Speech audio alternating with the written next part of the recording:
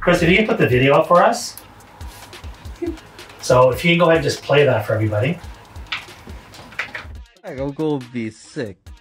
I just like looked through my Walmart history, and I found this like um Walmart order from two years ago for the whole month worth of groceries.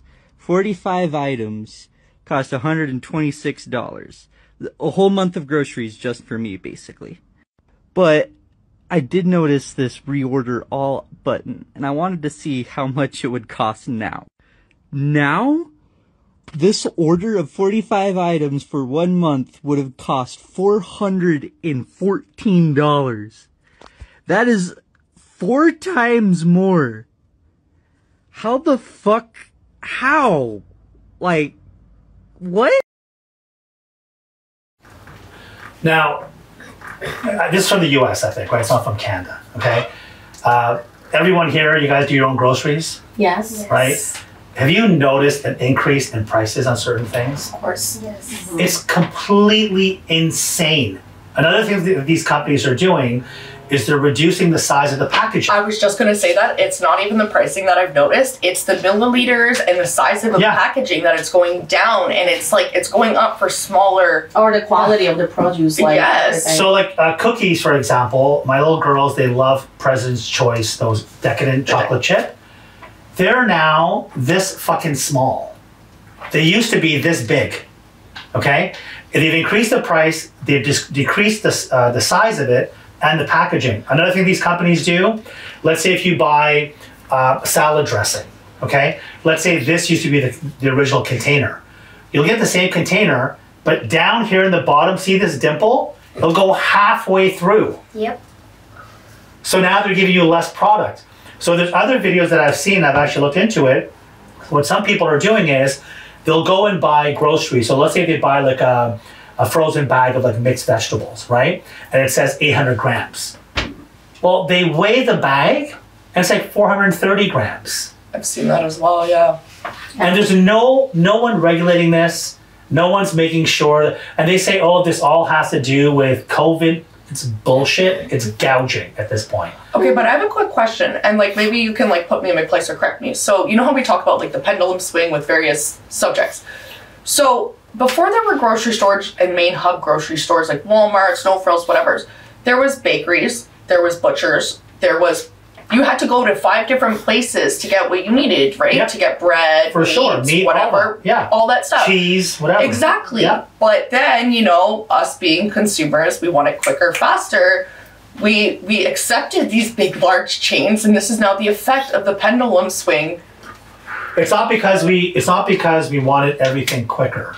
Like cheaper. it's because they It's make it more accessible for us too. Yeah. It's all it's, in one area. It's also cheaper, Yeah. and the only reason it's cheaper, is buying power. But is it now cheaper? Like isn't it isn't it just about the same price as going to a butcher than going to grab a pack of meat? That's what I'm saying. It's like going to the bakery. I'm sure if you go to a farmer's market or to a butcher, it's more expensive, but it is at least you're getting what you're paying for. It's better quality, it's most better likely. quality. But the, the problem is, is that when these big, huge, they're called big box stores, Yeah. right? So when they first started off, you were getting a better deal. So if you bought, you know, whatever milk, if you went to your local grocer who only had one or two locations, he doesn't have the same buying power. Correct. Whereas someone mm-hmm. like Loblaws will buy like millions of liters of milk every week, so they get a cheaper rate. So you were actually essentially saving. But now what they've done is, because of that, they've caused all of these mom pop places to go bankrupt. So now you now you don't even have the option. Yeah.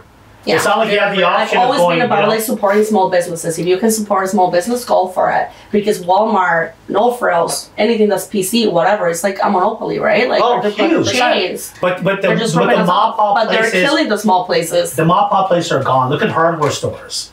So hardware stores before they'd be like a local one in your in your town.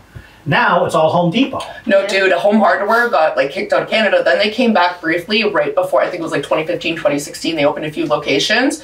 They because they're mom and pop, their prices had to obviously be more expensive, but their knowledge was a lot greater than the people Yeah. at Home Depot, right? Yeah. But they went they slowly went out of business eventually. And it's the same thing in the cannabis industry. Right now you have people like Value Buds, Canna Cabana, all these main in uh, all these main stores that are all corporate now, and then there's little guys like us, and there's very few of us now, very very few, and it's because these bigger guys are coming in and they're able to do backdoor deals, backdata deals, and then get cheaper pri- products for better pricing. Unfortunately, sorry, go ahead. Oh, my dad had a variety store in East Toronto Okay. uh, in the 70s and 80s mostly. And I remember how uh, Mac's Milk came to pretty close to where our store was. We were just a small store called Star Variety. and my dad actually uh, posted all these prices on very cheap for bread and milk, and uh, they eventually left. So that was, I was very proud of him. You know, uh, nowadays though, to find some of these boutique grocery stores, like, do you guys know who Pusateri's is? Yes. So Pusateri's is, is very high end, Yeah. right? They have one in Yorkville and so on. But you go in there, you get a little, a little block of cheese for thirty bucks or forty bucks, as you're paying for, you know, they have different products, right? So different grade when it comes to the quality of it. So those places do stay alive because of the rich neighborhood around them. But if a local, if a person, let's say here in Oakville, was to open up just like a, a one location grocery store, he's not going to survive because no one's going to shop there because the price at No Frills are way cheaper, right? And then you've got chains like Loblaws.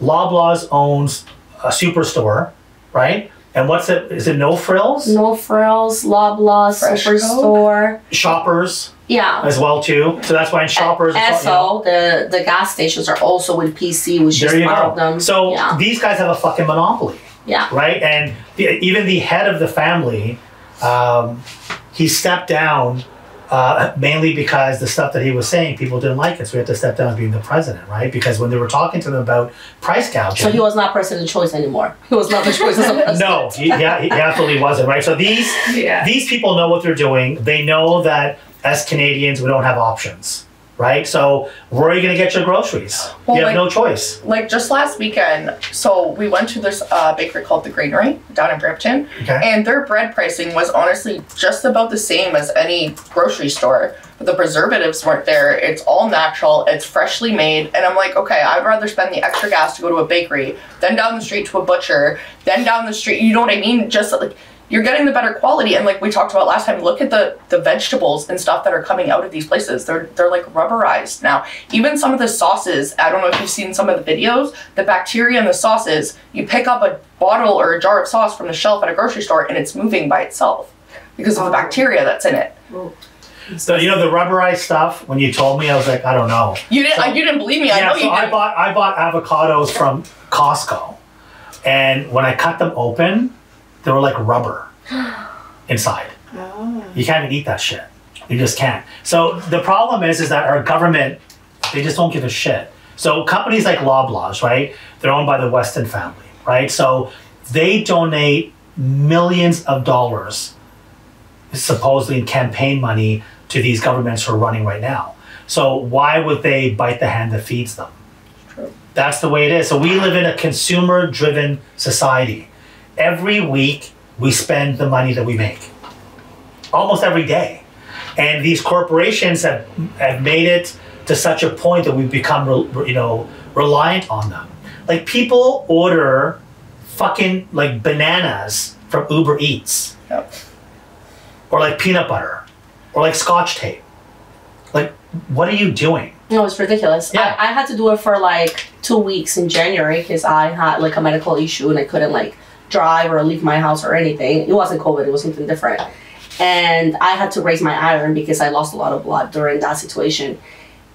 And the amount of money I spent just between like Uber Eats fees Yep. plus how expensive groceries are. So you were ordering groceries from Uber Eats? Yeah, Yeah. because I had like I couldn't leave my house, right? So Yeah. I had to order it, and it would be like as much as I tried to order everything at once, there's always one thing or the other that you forget, especially yeah. when you're alone and you're under medication. And then you get charged a fee again.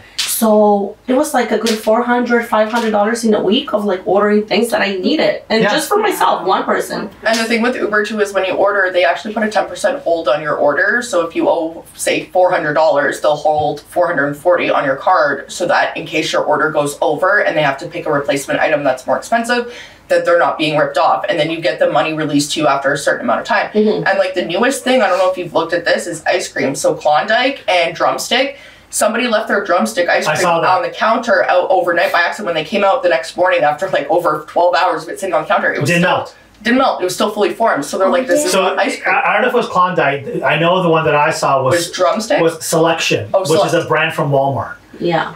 So it's ice cream, an ice cream sandwich, right? So the lady left the entire box out and put one on the plate, and then the following day, like 24 hours later, it hadn't even melted like a drop. yeah.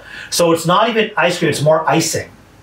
Is what it is, Yeah. right? Because it's cheaper, and people are still buying it. So you know, you know the brand Walmart has called Yeah, Selection, Selection, yeah. right? It's the cheapest shit possible, right? So the sad part is, is that uh, media is not doing enough about it. Our government isn't doing anything about it, and because we are Canadian, we're not the type to revolt.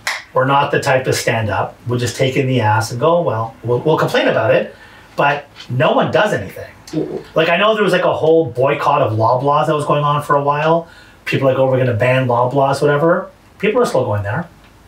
It happened. It was on Reddit for like a week. People were like, for like a week, they were sticking to And they're posting photos of how dead it Yeah. was. But if you go now, Well, the thing The is, this is not just the stores. This comes from a higher end issue, right? Like there should be like there's a minister that takes care of like inflation of groceries and all this stuff. But our wonderful prime minister that I don't want to start talking about. oh, he's a piece of shit. That's we we can can blame about. him for that and Well, for not not- firing the ministers that he should have fired. it's not even just really him, right? The, the problem is all the way through. So it's not just Yeah. the prime minister himself, it's from the bottom all the way to the top. So a, a lot of these governments, pretty much all of them, when they come into power, they hire the dumbest people. So that so they're not going to question whatever it is that they're doing. Yeah. They're not going to hire the smartest Yeah. person because if they do, that guy will take their job over eventually, Yeah. or is going to expose them. Yeah. So they hire really incompetent, dumb people. Well, and so so much money is wasted on bad management on the government side, our taxpayer I think it's the same with all the job market right now. People just hire the most dumbest people to. But it depends company. where, right? Like- No, all private companies, company. none like if you walk into like a uh, you know like a clothing store or whatever, it's like it's got three locations. They're not going to hire the dumbest person because that person is going to cost them more money over time. Nope. No? I've seen so No, many no, dumb right. people employee. Like I don't know you about clothing can't- store, but maybe like a law firm. Like I know, like there's law firms, there's like marketing companies where they aren't hiring the right people. That's because that's like a law not firm, anymore. You know? Before like- they are. Yeah. But I think what you're saying, Carly, is also because of what's available out there. when I worked at Amazon, okay, That's I worked true. I worked at when I worked at Amazon, um, they literally have something called the olive squeeze press. And that is their format to hire employees. And how they work is essentially you are a person, you are an olive. I'm going to squeeze you and get as much juice out of you until I can. Once the juice is gone, boom, bye. I'll get another one of you. You're a dime a dozen. So that's how they they work. They would put as much pressure as they could on someone. They didn't they didn't care. I'm gonna be honest with you. They didn't care because they knew that they could get another student Right away. right away. Yeah. And especially with the amount of third party agencies doing recruiting for them, they they and immigration and that's- commerce, that's what it is. At the end of the day, I'm an that's- immigrant, but that's yeah. what's killing the country. So at the end of the day, that's kind of when it comes down to certain companies. They do do that. Carly's right. If you go into a clothing store, like you go into any cannabis store in the Bramalea City Center right now. All the kids there say, "I don't smoke weed." What the fuck are you working in a kid Yeah, like? you don't even so know they- the difference So they will they hire people off minimum wage, and most of the time they terminate them before their three month probation, so that they have no rights as a worker, and then they get another worker. No, no, I know, but it also has to do with the quality of workers that are available. Yeah. No, but So the, unfortunately, the the the workforce that's out there today, because of the mass immigration taking place into Canada with, with the Trudeau government, I don't care who you call. If you call Rogers, if you call your credit card, if you call your bank, if there's an immigrant, it's going to be uh, uh, the customer service rep. who barely speaks English. Yeah. And you need to And- communicate yeah, over the and, phone. and they will try. With- They train them the best that they possibly can, but a lot of them are. It, takes even though if you're trained, it takes years. So one one part is, is the theory part, right? So that has to do with training the person. Then you come to the practical part, which is them learning whatever you've taught them. So that takes years But that's Right? what I'm saying. Like But- there but- is I- training. You know, there's training, and then there's like you know, like if their IQ and EQ is high, then they can take over the job and they go higher And in the future. Yes, but you know, like I have so many friends that are so skilled and experienced, and like they're street smart, not just book smart, and then they get laid off of their job, and then they don't get any job. Like, and when we go into like you know the company, they try to hire people. They hire the dumbest people. Like their skill level is not even like up there. Like they they're not supposed to get the job. Like you know, But you're saying with high pay as well? yes. Yeah, they get the job because Yeah. of who they know, not what they know. Because you know why? Because I think like most companies' management team, they hire the dumbest people, so they will never get up to their level, so they can like stay there. I believe, I, you know what, I I do believe what you're saying to a certain degree, but I also do feel as well, a lot of these companies like Bell or Rogers, uh, they don't give a shit. Because they've gotten so big that where are you gonna go? Well, look what. Remember the article I sent you a few weeks ago for one of the topics was I think it was Fido, I believe it was. All the workers woke up one day and they were all told that if they don't agree to move to a third world, like to a third party, not third world, sorry, third, third party country, they're outsourcing the work, the telephone work. So Fido was still using in-house and callers. They're outsourcing it. So, So they. Philippines, in so if they didn't agree that. to move to one of the the countries that were offered, then unfortunately they were given a, a like a termination package or whatever it's called, a severance package. Yeah. And it's kind of like So Bell, Bell Canada, for example, they outsource all their stuff to the Philippines. Yeah, it's cheaper for them. right? It's- It is cheaper for them, and the people there, they try their best. But when you get to the size of Bell Canada, it doesn't matter anymore. They don't give a shit And about also customer that, like, that has so they much- just don't. That has so Probably they much to don't do care. with the unemployment rate in Canada currently. No, it, it, it, it has to do with the C, CRTC.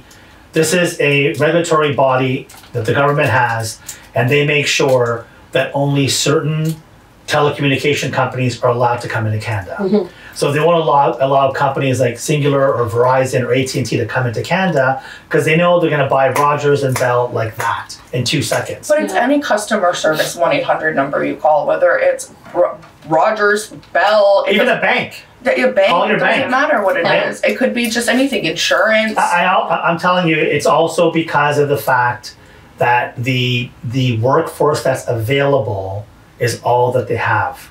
So, uh, you know, even when we post positions for the companies that I have, I will get hundreds of resumes a day for people who are not even qualified for the position we're seeking. That's what I'm saying. So you're not. There'll be some guy who's an engineer. There'll be some guy who's an engineer.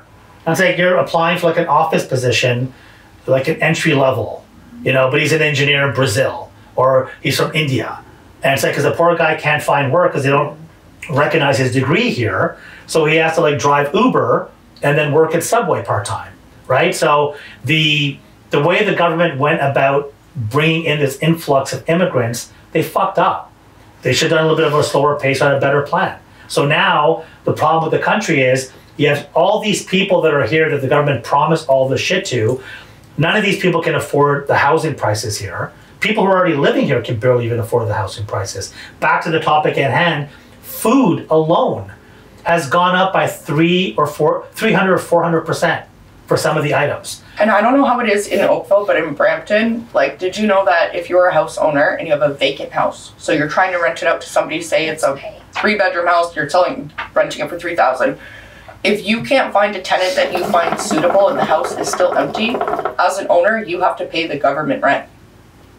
What? Oh, I Yep, because there's such a there's a housing There's a shortage. There's such a housing fee. shortage. Yeah, a vacancy fee. Yeah. And the vacancy fee can almost run you about two grand a month, depending on the size of your house. Yep. So if I have a house and I'm trying to rent it, but I'm not like I don't want to rent it to the first person I meet, you know, I want to kind of do my due diligence, and the house is empty for two, three months, the government will come at me and they'll ask. That's in Brampton, you're Yep, saying. they'll come at me and they'll ask me Toronto. for. In Yep, Toronto too? Yeah. They'll ask me for a vacancy fee, and she's right, and I have to pay it monthly, Wow. or I'm subject to a Well, fine. you know what? I'm sorry. I don't, I don't disagree with that. I agree with it. Here's the thing, I agree with it if you don't want to skyrocket our rent. Do you know how much a one bedroom basement apartment is in Brampton? $2,200. No, no. So, so no. So listen. What you just said will prevent that from happening. Not because at that all. listen, because that landlord who's charging such a, such a high rate can't find a tenant, mm-hmm. so he's gonna have to start paying that fee out of his. So pocket. you know what that tenant's going to do? They're going to find six other people to go in on them with the rent. Tell the let the landlord it's just them. Then you have six people living in your Exactly. basement. He's making three times the money off of it. No, no, that's a different thing. What I'm trying that's to tell what you happens. is, no, but that's what's happening in Brampton. Okay, to begin with, I don't think in Brampton that is a big issue because most of the houses in Brampton, people have 25 Mexicans or Indians sharing a house with three because they can't sell them, they can't get them for market value for one family. no, but they're also gouging. These landlords have increased the prices because the, the new law that the Ford government brought in is that there's no limitation. I believe It for used to be only houses, four percent a year. 2.9 or something like that it was. And then they said houses that were built after a certain year, They- yeah. they can go as high as they want.